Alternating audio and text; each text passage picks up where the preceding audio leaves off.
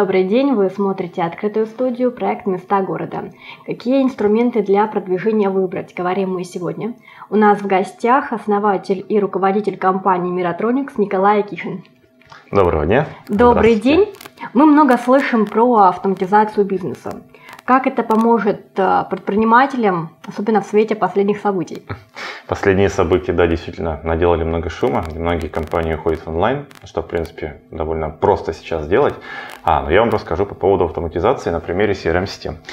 А, CRM-система – это такое некое программное обеспечение, к которым человек имеет доступ, как э, сотрудник, так и руководитель, как из офиса, так и из любого удаленного места. А CRM-система позволяет э, ввести коммуникацию с клиентами, все в едином месте, и а, взаимодействовать внутри компании друг с другом. Менеджер, менеджеру просто и удобно общаться с клиентом, вести дела, вести продажу, вести какое-то коммуникационное действие. Руководителю очень легко контролировать своих сотрудников и принимать какие-то дополнительные решения. Решения будь то по текущей ситуации, по текущей сделке, если требуется вмешательство руководителя, либо в целом по своей компании, по своему предприятию, стратегические какие-то изменения, все остальное. Все это позволяет делать в онлайн с помощью CRM-системы. То есть это контроль и упрощение процессов. А, да, да, можно назвать это контроль и упрощение процессов. Э, это быстрый доступ к процессам, это быстрый доступ к любой информации, которая проходит внутри компании и внутри сделки с клиентом. Допустим, сделать несколько, их 10, а, и по какой-то из них э, менеджер забывает или у него не хватает времени по принять какое-то действие по, по этой сделке. А автоматизированно можно дать руководителю напоминание, уведомление, что по этой сделке, либо по этим каким-то моментам менеджер не справляется, требуется ваше присутствие, ваше вмешательство. Таким образом приходит уведомление руководителю, и он оперативно может принять определенные действия. Он может отслеживать, кто из сотрудников как работает. Да, да. Насколько эффективно. Да, безусловно. И здесь мы сейчас говорим о контроле руководителя сотрудников, так и о упрощении действий самих сотрудников. То есть очень удобно, когда стоит задача, определенная задача с конкретным сроком, и сотрудники ее видят, ее выполнить, исполнить. То есть, и это будет удобно всем, как сотрудникам, так и руководителю. Да, и у руководителя, если отвечая на ваш вопрос, есть полный инструмент контроля как сотрудников, так и в целом ситуации в своем бизнесе с помощью CRM-систем, где бы ни находился в первую очередь руководитель, будь то на Бали, находясь с ноутбуком, будь то в Костроме, изолирован с самоизоляцией в текущем моменте, находясь дома. Кто-то из сотрудников привык по традиционным методам контролировать сотрудников, выполнение, допустим, еженедельные отчеты. Как все-таки за счет автоматизации бизнес-процессов э, предприятие становится эффективнее? Это очень интересная вещь. Я вам приведу пример самого маленького бизнес-процесса. Это а, средней или крупной компании выдача или одобрение отпуска сотруднику. Например, в отдельной в компании человеку, чтобы одобрить отпуск, ему нужно написать заявление, а отдать его бухгалтеру, либо ответственному, либо старшему руководителю, который стоит над этим сотрудником. А дальше этот, эта бумага должна уйти руководителю выше, подписать. Если есть какие-то препятствие, а бумага возвращается обратно. То есть это такой долгий круг бумажный. Бизнес-процесс можно очень упростить в плане одной кнопкой. То есть мы, если мы, давайте назвать это упрощение. Да, бизнес-процесс, автоматизация-упрощение. При нажатии одной кнопки бухгалтеру либо руководителю сразу уходит уведомление о том, что определенный сотрудник желает уйти в отпуск на такие-такие-то даты, при том сотрудник сам выбирает даты, пишет комментарии mm-hmm. к отпуску, что необходимо, почему он хочет именно в эти даты, если есть какие-то веские аргументы. А дальше в электронном виде сразу это уходит в бухгалтеру либо руководителю, дальше, дальше, дальше по цепочке конкрет, к конечному э, принимающему решение человеку. И если решение принято, он нажимает эту кнопку, все, отпуск одобрен. Это может быть в течение одного-двух э, часов, нежели одного-два дня, как обычно показывает практика. То есть пример самого-самого маленького бизнес-процесса. В целом бизнес-процессы могут быть большие, это начиная от продажи, заканчивая отгрузкой после производства. К примеру, приходит заявка, менеджер нажимает «все оплачено», нажимает одну кнопку, а заказ ушел в производство. А на примере, ну давайте ювелирной компании, есть определенный заказ на какую-то модель, которой нет в, на складе. А, но модель интересная, модель нужно продать. Соответственно, менеджер нажимает одну кнопочку, а, уходит модель на производство. После производства, как она готова на производстве, нажимает эту кнопочку, модель уходит дальше на контроль качества. Я очень упрощенно говорю, там на самом деле очень, очень много mm-hmm шагов, но говорю я очень упрощенно. И таким образом до отгрузки нажатием буквально одной-двух кнопок и менеджер, который продал заказ, который ответственный за то, чтобы это изделие доставлено было до покупателя, руководитель, а, который должен контролировать и менеджера, и производства, как это все работает, чтобы в самой компании не было сбоев и лояльность клиента, и LTV клиента, оно было выше значительно, чем у его конкурентов. И непосредственно сам руководитель компании в целом, он видит, как работает его компания с высоты. То есть он видит, где слабое звено, где нужно что-то подкрутить. Таким образом, все один ну, перевод бизнес-процессов в онлайн mm-hmm. из бумаги и либо там Наташа, сделай, пожалуйста, что-то в соседнем кабинете в электронный вид это значительно упрощает и в первую очередь высвобождает свободное время как у исполнителя, менеджера, так и у руководителя. На примере продаж как происходит упрощение? А, есть пример продаж, как обычные B2B, так и B2C продажи. Может быть тоже как большие, такие ну, крупные примеры, так и маленькие. Например, если это маленький пример, а вам ВКонтакте пишет какой, ну, давайте, раз начали про ювелирную компанию, можно про, ну, давайте так и продолжим про ювелирную компанию. Например, есть заказ в э, ВКонтакте. Вам пишут ВКонтакте, ВКонтакте есть блоки специальные для продажи, либо просто в группу «Хотим такой-то, такой-то товар». В CRM-системе сразу появляется новая сделка, что-то определенный человек желает приобрести что-то, ну, например, колечко. А, и менеджер сразу видит это, или владелец, если мы про микробизнес говорим, про маленькие продажи. А, сразу видит эту сделку, он входит в коммуникацию с клиентом, при том ему не нужно заходить отдельно ни в контакт, ни в какой-то другой мессенджер, все это сразу в CRM-системе а в едином виде все удобнее, вся информация проходит по сделке. То есть мы можем посмотреть, когда кто кому писал, когда кто что кому отправлял, все это в едином месте. И не будет каких-то неотвеченных сообщений. Да, не, будет, не будет неотвеченных сообщений. А при формировании нового, новой сделки сразу ставится задача. Задача информирует и менеджера, и руководителя, если это необходимо, о том, что у нас есть новая продажа, активная новая продажа, новая сделка, ну, по ней нужно работать, отработать. И менеджер уже по этой сделке, соответственно, идет, общается с э, клиентом, договаривается и вперед, вперед, вперед ее двигает. Соответственно, до продажи. А если вкратце, то есть от А до Я, то есть э, CRM, в который интегрированы бизнес-процессы, позволяют, а если мы используем термин, а, до, дожать клиента до покупки, соответственно, mm-hmm. при входящей сделке. CRM, насколько сложно будет сотрудникам привыкнуть к этой новой системе? На самом деле очень просто. Почему? Потому что большинство сотрудников сейчас, они есть в интернете. Есть ВКонтакте, есть в Фейсбуке, пользуются очень много мессенджерами. И также наши бабушки и наши мамы пользуются контактом, ну, ВКонтактом, одноклассниками. А CRM-система, по сути своей, она пытается быть похожа на привычный интернет. То есть это на контакт, это если мы говорим про Bittrex с его живой лентой, а, это на, ну, она очень похожа. А, возьмем два мастодонта рынка основ, основополагающих, которые это AMA CRM и Bittrex 24 в России. А если AMA CRM, старт буквально вот, наша компания интегрирует за одну неделю, всего лишь за одну неделю AMA CRM. И достаточно одного обучения сотрудников, чтобы сотрудник начал уже вести дела в AMA CRM. С Bittrex посложнее, потому что Bittrex помимо CRM-системы, а, в нем несколько модулей дополнительных, как внутреннее взаимодействие, а, и там довольно много всего.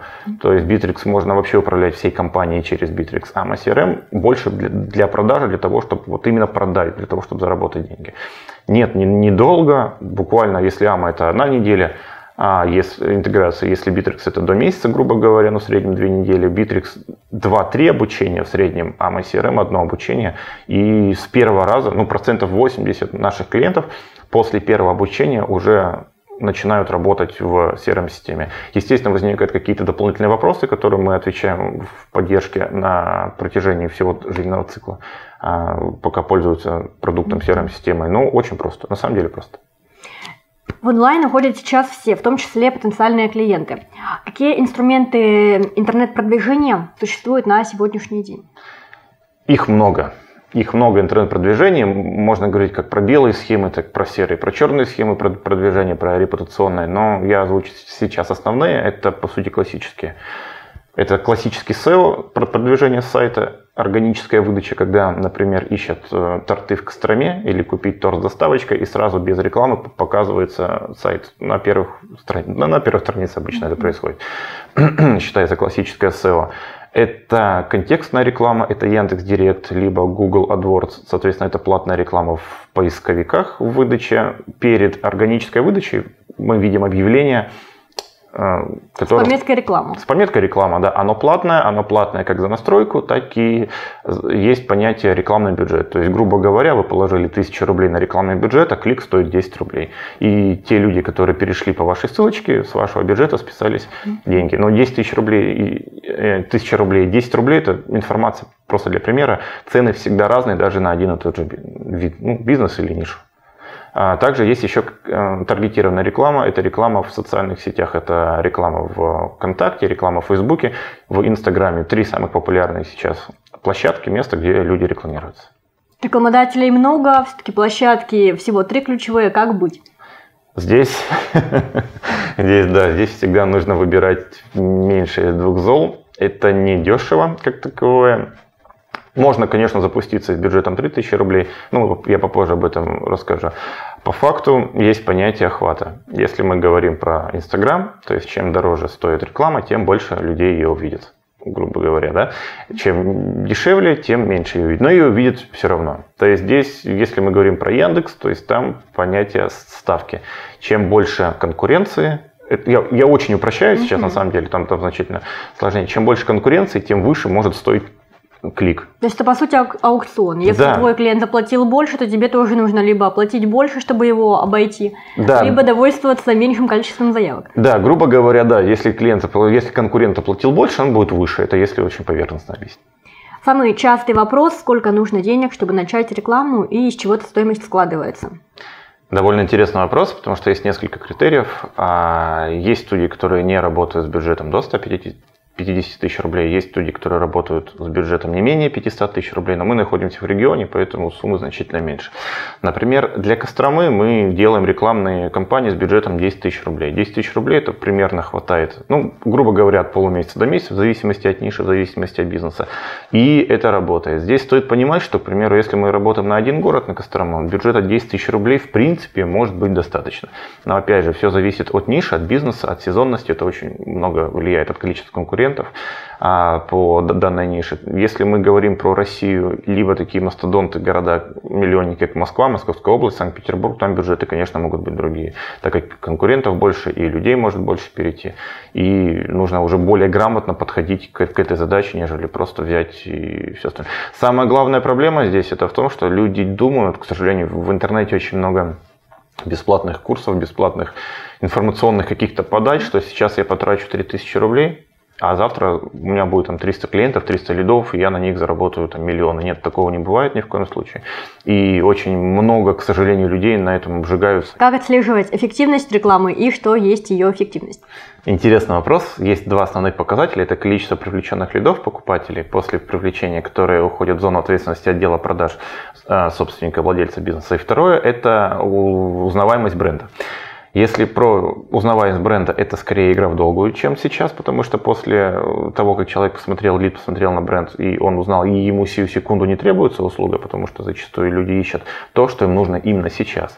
А, то месяца через два, через три, может через более количество времени. Зная, что данный бренд предлагает такие услуги, то человек к этому вернется, он вспомнит, он закажет, и, скорее всего, все будет хорошо. То есть сделка состоится. Uh-huh. А если мы говорим про привлечение лидов непосредственно как таковых, то также это все числово измеряется, то есть все понятно, сколько человек потратил, сколько владелец потратил денег на рекламу, сколько лидов пришло, и из этого складывается определенная история, сколько стоит лид, выгоден ли данный канал продвижения владельцу или нет с учетом стоимости лида и так далее. Через какое время можно делать э, анализ, то что это эффективно или неэффективно, если нужно прямо сейчас лиды? Мы предлагаем два вида отчета. То есть при ведении кампании есть два вида отчета. Первый отчет это через две недели мы будем понимать, как происходит тенденция, куда она вверх-вниз, что стоит докрутить или не стоит вообще этим пользоваться. И большой месячный отчет, где ну, клиент видит, как происходила сколько рекламная кампания, сколько человек увидел, сколько человек заказали. Есть так называемые цели в рекламных кампаниях. То есть это, к примеру, цель зайти на страницу контакты, чтобы человек зашел. Таким образом мы понимаем, что человек интересовался как минимум номером телефона, либо где находится компания. Есть, например, цель на форму обратной связи, то есть чтобы человек оставил свои контакты на определенной страничке, или цель для заказа определенного продукта или товара на, на сайте. То же самое. Мы видим количество достигаемых целей, и то же самое, это все показывается в отчетах. Человек, клиент видит, насколько эффективно, сколько вообще прошло людей, сколько пришло, сколько человек достигло цели. И самое главное, здесь нужно понимать, что после того, как лид пришел, а, а, зона ответственности уходит на отдел продаж клиента, либо на самого клиента, если у него еще нет отдела продаж. Потому что одно дело, что человек оставил заявку, второе дело продать. Здесь уже зона ответственности не студии, а именно вот владельца бизнеса и отдела продаж. Почему реклама может не работать? Расскажите о самых частых ошибках и как не слить бюджет. Их на самом деле тоже много, но основные три ошибки я расскажу, которые помогут и людям, которые сами настраивают рекламу, и те, которые хотят собрать себе сайт. А, их три. Первое – это несезонность. К сожалению, у каждого бизнеса есть понятие сезонность и несезонность. Это можно посмотреть в WordStat, он показывает по количеству запросов потенциальной целевой аудитории, сколько, когда, по месяцам, когда пик, когда спад. А, и очень довольно интересный инструмент. То есть им можно воспользоваться, посмотреть. Вот повторюсь, вернусь, это первое, это не сезонность. Нужно всегда понимать, а, сезон сейчас или нет. Рекламная кампания это ни в коем случае не волшебная палочка, которая сразу принесет и не панацея, которая сразу избавит от всех проблем. Нет, это всего лишь один из инструментов, который увеличит определенные показатели, будь то число лидов, будь то узнаваемость бренда. Так вот, первая из них, это первая ошибка, это не сезон. Всегда нужно понимать, сезон или нет, и стоит ли запускать рекламную кампанию или нет. Второй момент – это неконкурентоспособность. А, ваш товар может быть отличный, а, у вас может быть э, все хорошо, но, к примеру, цена выше, чем у конкурентов либо какой-то другой аспект вашего товара, он не может конкурировать с предложениями вокруг да, ваших конкурентов. Поэтому, скорее всего, то есть человек перед тем, как делает выбор, он проходит в среднем 11 сайтов. Там, от 7 до 15, ну давайте округлим 11 сайтов. И также он пройдется по вашим конкурентам. И, скорее всего, он, увидя, что там выгоднее, интереснее, он возьмет там. Поэтому очень нужно смотреть на конкурентоспособность как, как таковую. И третий момент – это неправильная презентация самого товара. То есть э, то, как этот товар показан, то, как он презентуется потенциально целевой аудитории. Возможно, э, сделать э, подарок какую-то игрушку, либо мы, когда мы продаем плюшевую игрушку, но показываем эту плюшевую игрушку людям там 45-55 лет, которым, в принципе, плюшевая игрушка не нужна. Но игрушка хорошая, цена маленькая, а, то есть все хорошо презентуется она очень хорошо показана, как она выглядит, но целевая аудитория не то, то есть презентационная вещь, она не на ту целевую аудиторию и неправильно работает. Это три основных ошибки, которые стоит учитывать. И нужно понимать, что к рекламной кампании нужно подходить заранее и с пониманием. То есть это как к войне нужно готовиться, если мы про, про кавычки говорим. То есть правильная подготовка самого продукта – и рекламной кампании это значительное преимущество, нежели перед тем, кто вот все я придумал, надо сделать, делал за день, залил бюджет, не отработало, расстроился, перестал верить в, в этот канал, mm-hmm. да, и все, что с этим связано. То есть в первую очередь нужно понимать, что 300 рублей не, не сделают миллионы выручки. А реклама пропорциональна, вложение в рекламу пропорционально заработку и, и прибыли. То есть нужно подходить грамотно и ни в коем случае не за один день.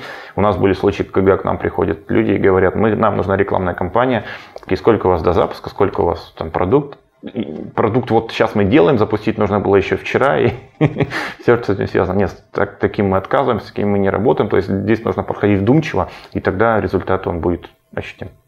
Одна из возможных причин низкой конверсии с рекламы – это как раз э, сайт. Да. Какие самые частые ошибки вы видите на сайтах ваших клиентов, либо вообще в интернете? Наверное, ошибки на сайте – это основные ошибки вообще не работы и рекламной кампании, и маленьких лидов. Количество, маленьких, маленького количества лидов, да. Смысл в чем? Сайты это такое узкое горлышко на данный момент. Если раньше работали хорошо сайты-визитки, если раньше работали хорошо интернет-магазины, то в современном мире у человека очень много цифрового белого шума. Его все отвлекает. То есть люди привыкли видеть образами.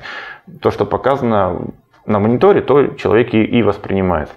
К сожалению, обычные сайты сейчас не работают. Интернет-магазины, если это крупный известный бренд, либо уникальный товар, тогда да, тогда интернет-магазин работает.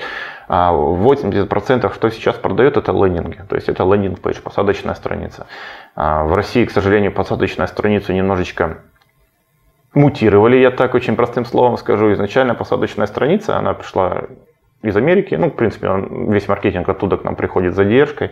И это презентационная страница определенного одного, одного товара, максимум одного группы товаров или одной услуги. То есть сделано таким образом, чтобы на эту страницу попадала только исключительно целевая аудитория, которая интересуется только этим товаром, либо этой услугой. И таким образом конверсия значительно выше, чем на обычном сайте, когда человек попадает и он не понимает, что ему нужно сделать. А люди сейчас обленились, потенциальные клиенты обленились, они хотят, чтобы им сразу предложили и то, что они хотят. И очень мало людей, которые ходят, ищут что-то, если это им очень необходимо по большим сайтам, по... ища себе что-то дополнительного. Mm-hmm. Поэтому есть основные моменты, на которые стоит обратить внимание. Есть а, у потенциального клиента есть всего 3, максимум 5 секунд для того, чтобы он понял, где он находится и что есть на сайте. Если в этом промежутке времени человек не но не поймет, что это ему нужно, он уйдет. Скорее всего, он уйдет. Либо пролистает и уйдет, либо сразу уйдет с сайта. То есть первая ошибка, сайт должен быть понятен. Сразу при первом, когда человек попадает на сайт, первый же экран должен рассказывать о том, куда он попал, что здесь можно найти и какие преимущества есть сейчас здесь именно для него. Потому что исключительно для человека так лояльность увеличивается, нежели массово. Если мы говорим, вот все для вас, а если все для тебя, соответственно, лояльность увеличивается. То есть первый критерий, это обязательно сайт должен быть понятен. Сразу вот в эти первые 3-5 секунд. Тогда есть большая доля вероятности, что человек дальше пройдет, и из того, как сайт выглядит, уже он продаст или не продаст сам по себе сайт. Второй момент, ни в коем случае нельзя все на одну страницу. То есть есть такие конструкторы, как Тильда лендингов, как LP-генераторы, платформа LP, они дешевы, ими можно пользоваться, они в принципе удобны в использовании, но зачастую без определенных знаний на страницу набрасывают все. Могут там плюшевого мишку, там колба, роза в колбе, и все-все-все, все товары на одной странице презентовать, и таким образом внимание потенциального клиента просто распыляется, он не понимает, что зачем он сюда пришел, не понимает, зачем ему нужно именно здесь покупать, и как бы в, в, в этом все дело. То есть это вторая ошибка. Не нужно на сайт все, если это не интернет-магазин, либо не какой-то просто сайт для того, чтобы был сайт. Если мы говорим про то, что человек понимает, для чего ему нужен сайт, если мы говорим, ну, сам по себе клиент понимает, для чего ему нужен сайт, если он понимает, что он хочет продавать и к кому он хочет продавать, то есть ни в коем случае нельзя его загромождать другим. То есть нужно бить в одну точку. То есть всегда нужно бить в одну точку, так называемую.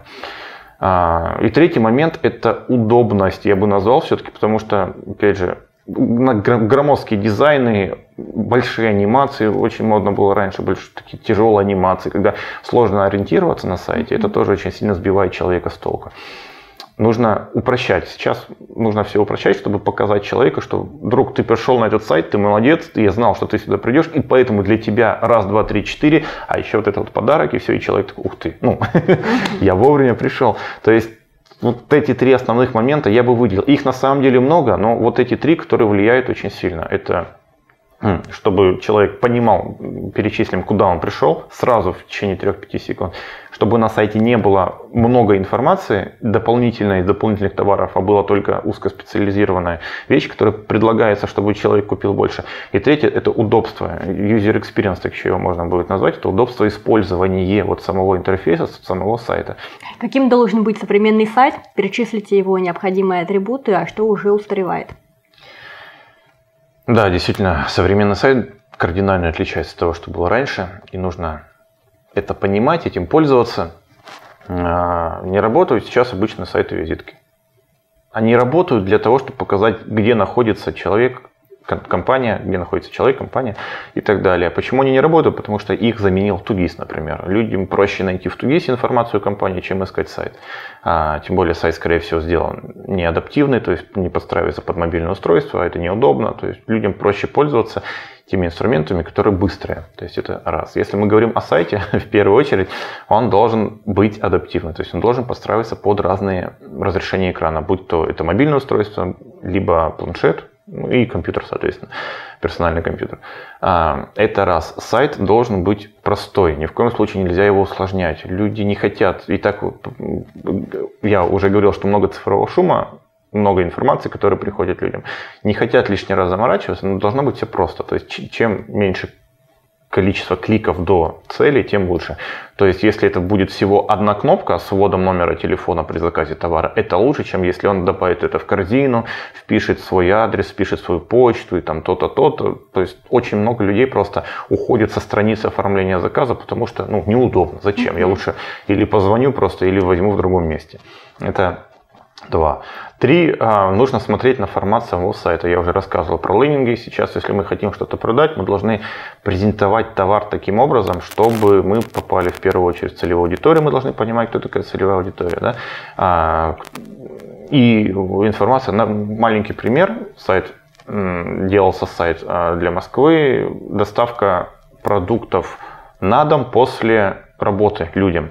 На самом деле, одна целевая аудитория – это один лендинг должен быть в, в идеале. То есть, если мы правильно делаем маркетинг, правильно делать разработку, а, там было сделано, по-моему, 25 лендингов под разную целевую аудиторию. Я расскажу всего лишь про два. Я точно не помню оферы. Офер – это э, торговое, торговое предложение, которое мы указываем самое первое на сайте. То есть текст, который сразу читает человек, чтобы остаться на сайте. А, просто пример целевой аудитории – мужчина и женщина. А, лендинг для мужчины. Офер. Привезем еду через 30 минут – промокод World of Tanks в подарок. Угу. То есть, что нужно для мужчины? Он пришел, ему ничего больше не нужно. Он пришел, он поел, те, кто играет в World of Tanks, ввел промокод, пострелял платными патронами, если промокод для платных патронов, да, ну, либо что-то еще. Он доволен. Женщина, соответственно, совершенно по-другому. Дословно не помню, но, по-моему, было что-то такого плана. Привезем еду в течение 30 минут не дороже, чем в супермаркете, и у вас остается время на общение с вашей семьей. То есть это мы говорим про целевую аудиторию, про женщин. Совершенно другой подход, совершенно другая визуализация на сайте. И мы просто должны понимать, что кому мы продаем услугу, будь, будь то товар. То есть а, второй момент, мы как бы сайт должен быть легкий, простой, и мы должны он должен продавать именно определенной целевой аудитории. Ну, мы сейчас говорим про лендинг, потому что обычные сайты, повторюсь, они практически сейчас не работают. А дальше, если мы углубляемся, на лендинге должны быть как минимум несколько вещей. Первое – это офер – а именно сформулированный текст именно для потенциальной целевой аудитории, чтобы он его эту, чтобы сам офер эту целевую аудиторию каким-то образом зацепил. Ну, мы опять терминологией пользуемся. Второй момент. Должны быть обязательно преимущества, то есть э, все плюсы плюсы из минусов сделать плюсы. То есть именно вашего товара, именно вашей продукции, в отличие от э, конкурентного, ну, от конкурентов. Ну, например, сейчас вот у нас один из последних заказов это лендинг-пейдж для масок, актуальная mm-hmm. для масок самозащиты. Маски не простые, а с пропиткой антивирусной из эфирных масел многоразовые и многоразовые маски. Своя, своя целевая аудитория, и в преимуществах там написано, ну, много, там 6 преимуществ, там, стопроцентный хлопок, например. Чем отличает от других? Стопроцентный хлопок. А, меняющаяся вставка вот антивирусная, антиаллергена, там подходит для всей семьи. То есть мы из всего вот этого вот вытаскиваем смыслы, и эти смыслы мы должны разместить на сайте. Чтобы человек не хотя спросить, но он, ему уже ответили на сайте эти вопросы. А, должна быть э, второй момент, да, вот это вот преимущество. Должно быть как минимум вопрос-ответ на сайте, максимально подробный, потому что люди сейчас не готовы звонить в первую очередь. Ну, так, такое время. Mm-hmm. Люди сейчас пользуются в основном мессенджерами, а, то есть 60% уже диалога уходит в мессенджеры. А, и людям проще найти информацию где-то обезличенно, ну, на вашем сайте, чем если он вам позвонит. Позвонит, если он уже принял решение. Мы сейчас говорим про людей, которые еще не готовы, либо, не, ну, либо принимают решение а, заказать, сделать заявку или нет. И изучают вот ваш сайт еще там 10 конкурентов. Ну, то есть в, в этом промежутке. Принципе, если это основные моменты, которые требуются на логике. Ну и фотографии, естественно, красиво презентованный товар в фотографиях. То есть они должны быть красивые, они должны быть цветные, насыщенные, потому что люди сейчас видят образами, в первую очередь, и этими фотографиями мы привлекаем людей именно образами того, что, ну, что они получат. То есть какие-то очень хорошо, если были бы примеры, если это услуга, это от было что было, что стало, от и до. Если это какой-то продукт, то продукт в использовании. Ну, к примеру, коптилка для, там, для рыбы, для мяса, для чего-либо, для, для грибов. Не просто, что вот она коптилка, а именно в работе, что там горит огонь, а, что там что-то, какие-то шампура и так далее. И очень хорошо сейчас работает это видео. Маленькое презентационное видео продукта на сайте самого собственника, либо старшего специалиста Вот этого вот минимально, от этого, в принципе, достаточно. Но в любом случае э, здесь нету общего рецепта. Все сводится к нише, к целевой аудитории, и каждый лендинг на одну и ту же нишу, на одну и ту же продукт не получится ну, сделать, конечно, получится одинаковые ресурсы, но работать они одинаково не будут. Ну, то есть нужно анализ, нужно понимание, как это сделать лучше, правильнее и все, что с этим связано. Вы создаете сайт под задачу. Что это значит и какие задачи могут быть? Или это как раз то, что мы сейчас э, осветили? Да, в принципе, это, это... то, что мы сейчас угу. осветили, потому что сайт можно сделать самому. Сайт можно, может сделать практически любой человек, обладающий базовыми навыками компьютеров, то есть там ничего не программирование нужно. Нужно понимать, что такое логин и пароль, чтобы войти в личный кабинет и передвигать блоки сайта с, с вводом туда какого-то текста и добавления изображения как картинок. Сайт под задачу отличается от обычного сайта, что он разрабатывается исключительно под необходимость, когда собственник понимает, зачем ему нужен сайт, когда собственник понимает, что он хочет от сайта и какие вообще э, критерии должен после запуска сайта, то есть какие результаты должен принести сайт. Вот мы создаем такие сайты под задачи непосредственно, не просто общие массовые, это сделать легко, а вот непосредственно погружение погружаясь в маркетинговую составляющую, погружаясь в целевую аудиторию, кто целевая аудитория, вместе с собственником, естественно, все, все это происходит, то сайт под задачу, он такой более узконаправленный и работает для достижения вот этой задачи. Какие задачи могут быть? Перечислите, допустим, пять основных. Их, ну, например, привлечение новых лидов, привлечение новых клиентов, если сайт был до этого простой, либо мы переделаем сайт. Второе, как мы говорили, это улучшение узнаваемости бренда, либо просто массовая узнаваемость бренда. Третье – это продажа определенного вещи, то есть определенной продукции, либо определенного... Вот мы сделали недавно потрясающий Лока Пицца сайт, потрясающий вкусная пицца. Работает только доставка без э, локального офиса. Но в этом и преимущество, особенно в наше время. Так мы специально не подгадывали, но получилось так, что там только доставка. Упали в точку. Да, и при этом пицца там полтора килограмма, она очень большая. Одну пиццу заказали на всю семью или на всю компанию компанию, как, как раз очень вкусно. Вот задача этого сайта а, принимать заказы, то есть это непосредственно онлайн-офис получается, то есть принимать заказы на пиццу, используя там промокоды определенные, используя, то есть у каждого человека есть свой личный кабинет, где суммируется скидка, он может применять промокоды и так далее. То есть по сути это онлайн-офис а, этой пиццерии. Вот задача одна из задач. Их может быть много абсолютно. Может быть задача по поводу формирования конструктора торта. Вот у нас тоже есть клиенты Кейкарт в Костроме. Они довольно вкусную продукцию делают. Всегда тоже свежая, маленькая реклама. Кейкарт44.ru у них сайт. Ну, домен скоро поменяется. Торты на заказ. Вот это как раз SEO-выдача, я рассказывал про них. Если написать торты э, в Костроме или торты на заказ в Костроме, они появляются первыми, без использования рекламы. Ну, это вот органическая выдача. А у них есть конструктор торта, например. То есть можно взять, сконфигурировать себе и заказать.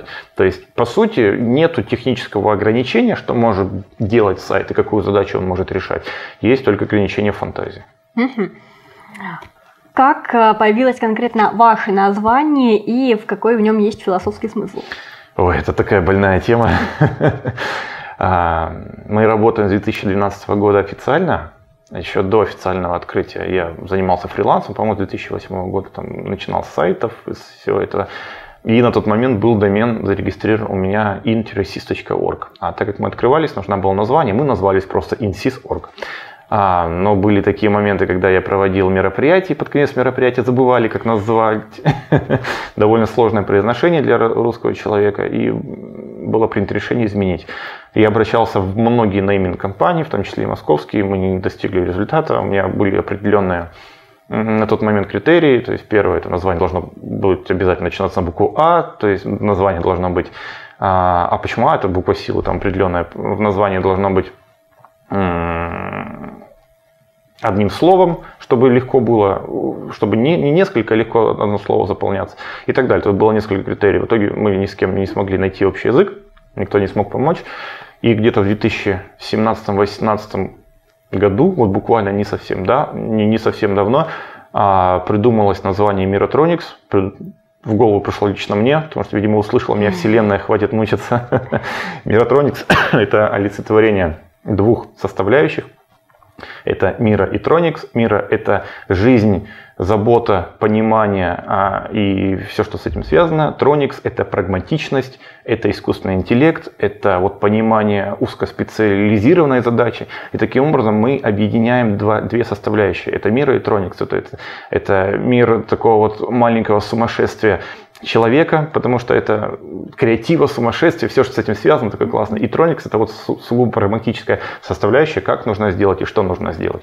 А и наш слоган это объединяем людей и технологии. Поэтому, как конечно. вы рождаете эти идеи, откуда они к вам приходят?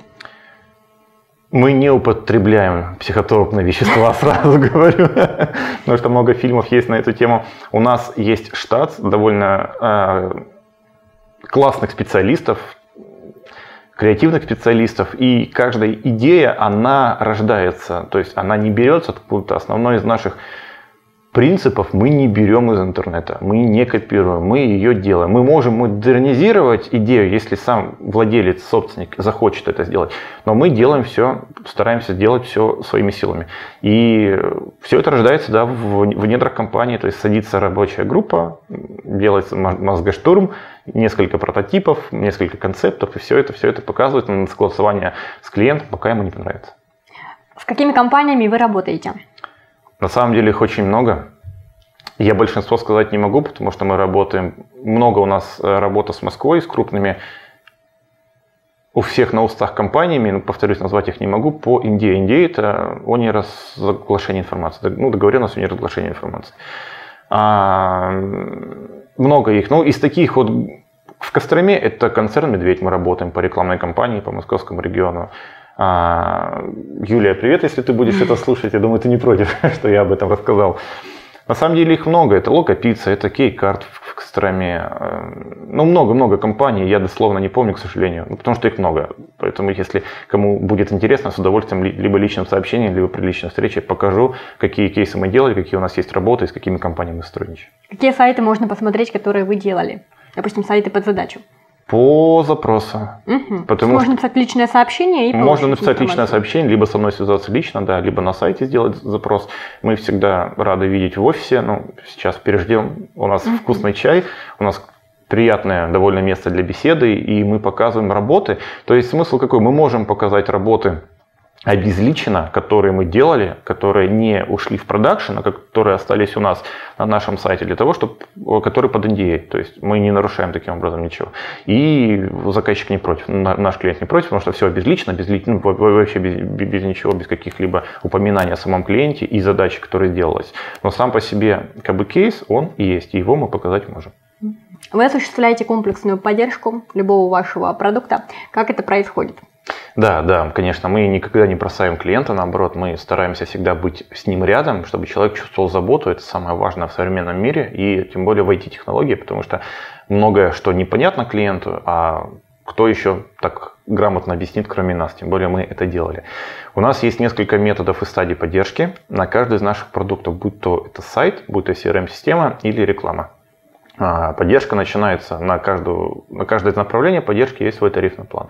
Начинается от 5000 рублей, это довольно дешево и не сильно ударяет по карману, тем более в текущей ситуации для клиента. Поддержка начинается как от технической, чтобы все работало, чтобы ни в коем случае ничего не упало. Такая терминология. Ну, сайт перестает работать, мы называем это сайт упал.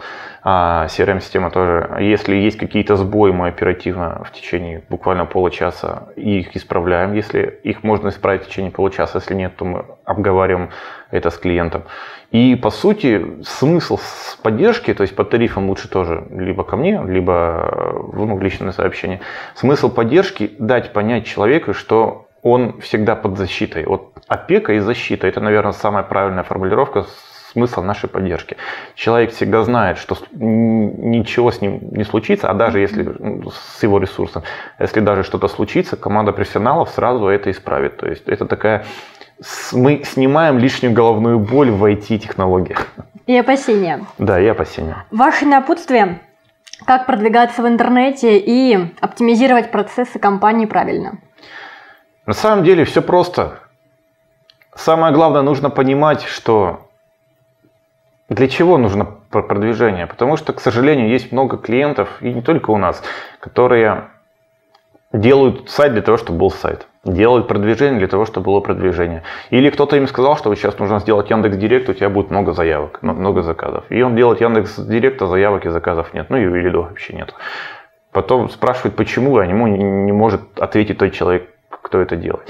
Поэтому нужно всегда понимать, для чего это делается. То есть есть золотое правило, никогда нельзя делать дорогой сайт клиенту, если у него еще не было там, два или три дешевых сайта, пока человек сам не поймет, что ему нужно от этой задачи. Потому что, по большому счету, это является переадресация ответственности на исполнителя, если сам собственник не понимает, что он хочет. Поэтому, ну, ребята профессионалы, они сделают, они знают лучше, чем я, поэтому вот так, так, так. Ну, тут нужно в первую очередь понимать, для чего сайт, для какой целевой аудитории сайт и что нужно с этим сделать. А, если в целом напутствие, это не бояться тестировать гипотезу, то есть любое продвижение, любой канал продвижения, это по сути, если она еще, если его еще не пробовали этот канал, это гипотеза. То есть мы, ни мы, ни сам собственник не может сказать, насколько эффективно она отработает. То есть всегда нужно тестировать гипотезы. И исходя из лучших результатов, уже вкладывать средства вот в, в каналы, которые максимально хорошо себя показали. Это раз. Второе, не бояться, потому что много страхов, а вдруг не получится, а вдруг что. Но если сидеть на месте, то под лежачий камень вода не течет ни в коем случае. Ничего не, не, не сработает, если просто бояться, что это не сработает. К сожалению, таких людей тоже много. И это неплохо. Я понимаю, почему так происходит. Мы много работали с этим. Ну, это определенные страхи ведения бизнеса в современном обстановке, в случае положении дел, которое складывается. Да, это такое тоже есть. А, не бояться двигаться вперед в первую очередь. И таким образом, в любом случае, цели будут достигнуты. То есть быть готовым к новому. Я бы сказал так, быть готовым к новому, тестировать гипотезы, пробовать и не бояться. Спасибо, Николай. О том, как выстраивать продвижение, говорили мы сегодня. У нас в гостях был основатель и руководитель компании Miratronics Николай Акишин. Если у вас есть трудности с продвижением, вы знаете, к кому обращаться. Всего вам доброго и до новых встреч. Всего доброго, до свидания.